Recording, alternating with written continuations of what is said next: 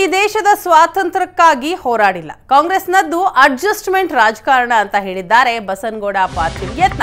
ವಿಜಯಪುರದಲ್ಲಿ ಶಾಸಕ ಬಸನಗೌಡ ಪಾಟೀಲ್ ಯತ್ನ ನೀಡಿದಂತಹ ಹೇಳಿಕೆ ಇದು.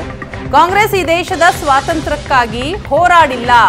ಕಾಂಗ್ರೆಸ್ ಕೇವಲ ಅಡ್ಜಸ್ಟ್ಮೆಂಟ್ ರಾಜಕಾರಣವನ್ನ ಮಾಡ್ತಾ ಬಂದಿದೆ.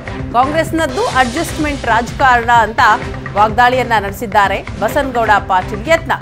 ಕಾಂಗ್ರೆಸ್ ಬ್ರಿಟಿಷರ ಜೊತೆ ಅಡ್ಜಸ್ಟ್ಮೆಂಟ್ ಮಾಡಿಕೊಂಡಿತ್ತು. ಹೀಗಾಗಿಯೇ ನಮ್ಮ ದೇಶಕ್ಕೆ ಸ್ವಾತಂತ್ರ್ಯ ತಡವಾಗಿ ಬಂತು. ಕಾಂಗ್ರೆಸ್ ದೇಶ ವಿರೋಧಿ ಚಟುವಟಿಕೆ ಮಾಡುತ್ತೆ ಅಂತಲೂ ಕೂಡ ಹರಿಹಾಯ್ದಿದ್ದಾರೆ ಯತ್ನ.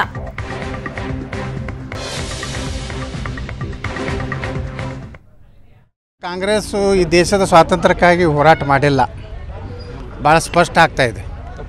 ಕಾಂಗ್ರೆಸ್ಸು ಯಾವಾಗ ನೇತಾಜಿ ಸುಭಾಷ್ ಚಂದ್ರ ಬೋಸ್ರನ್ನ ಅವರು ಪ್ರಜಾತಾಂತ್ರಿಕವಾಗಿ ಆಯ್ಕೆಯಾದಂಥ ನೇತಾಜಿ ಸುಭಾಷ್ ಚಂದ್ರ ಬೋಸ್ರನ್ನ ಪದಚ್ಯುತ ಮಾಡಿ ಪಂಡಿತ್ ಜವಾಹರ್ಲಾಲ್ ನೆಹರೂರನ್ನೇನು ಅಧ್ಯಕ್ಷರು ಮಾಡಿದ್ರು. ಅಂದೇ ಕಾಂಗ್ರೆಸ್ಸು ಸ್ವತಂತ್ರಕ್ಕಾಗಿ ಹೋರಾಟ ಮಾಡಿಲ್ಲ ಅಂತ ಸ್ಪಷ್ಟ ಆಗಿದೆ.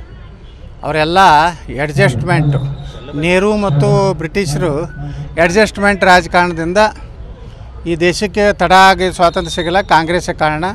ಕಾಂಗ್ರೆಸ್ಸು ಈ ದೇಶದ